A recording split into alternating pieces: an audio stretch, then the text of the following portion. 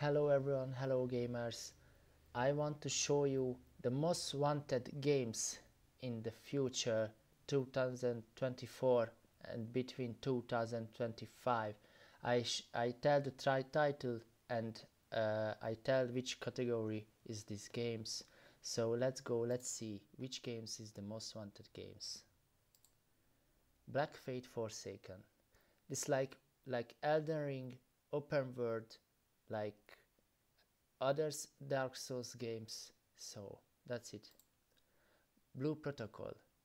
This is the Japanese RPG. This is the MMORPG game. Chrono Odyssey. This is also the MMORPG. It's really, really good graphic. Death Stranding 2 by Hideo Kojima. This is the open world. Others say it's walking simulator, but this fails. Hell is Us. This is again like Death Stranding, but it's a little bit stranger, and you have a little fight mechanic. So this game is the on the list. So Killing Floor 3 this is the FPS game shooter like you fighting against zombies. Metal Gear Solid Snake Eater. Is everybody waiting for of this game as this open world FPS shoot, shooter game? Silent Hill 2. This is the horror game and this is the most wanted game of all of it. The first Descendant.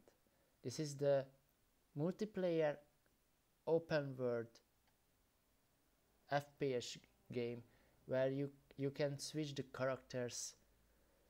So Zenless Zone Zero is also MMORPG open world and also multiplayer game. And the last one is the Star Wars Outlaws guys.